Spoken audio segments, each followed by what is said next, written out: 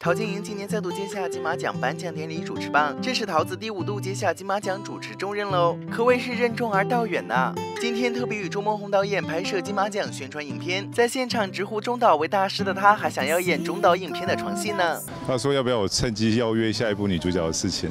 他他的他的女演员应该都是演尸体啊，或者是 是不是？没有都男演员比较多。下部会有女演员的，下部会真的假的一定会的，一定要真的假的一定会的。麻烦一下。对我像我蛮喜欢拍爱情戏的，只是说没有都都刚好都没有拍到那些东西。这样子，对，我也可以演床戏。这样子嘴巴是要说不吗？不要。看来桃子这是想要跨界去演电影了。不过这第五度主持金马奖，桃子应该是轻车熟路，没有什么可担心的了吧？其实我后来想一想，我都已经快要，呃，快要。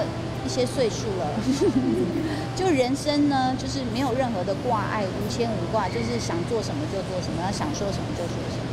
那应该就会报一些秘辛，他就是更了解，我觉得就是电影团队他们认真呃工作的专业的那一面，然后还有他们私底下不为人知的搞笑或者是辛苦那一面，这样。看来桃子很认真的在准备了呢。那对于时间的把控，是不是更有把握了呢？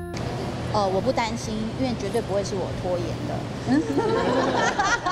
请颁奖组合要特别注意拿捏时间，但得奖者我们就不限制他了。今年更有桃子的好多好朋友入围了金马奖，比如舒淇、金城武，桃子是不是很开心呢？被记者问到是不是希望舒淇双喜临门，桃子现场可是大呼不要再陷害我了。再恭喜他！哦，一定要恭喜的。这舒淇其实我觉得对他来说，呃。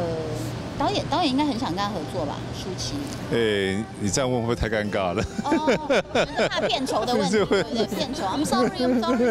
没有，主主要是呢，因为呢，其实我觉得这次我们看到很多这个好朋友都入围了，包括舒淇，包括金城武，然后也包括很多新演员，呃，而且是就是台湾的新演员，我觉得其实蛮有看头。双喜是哪双喜？哦，入围加得奖，不要再害我犯罪。就当然是祝福了，我觉得就是祝福好朋友，然后祝福每一位其实辛苦努力，好好拍电影。看来桃子对电影人还真了解呢。台北报道。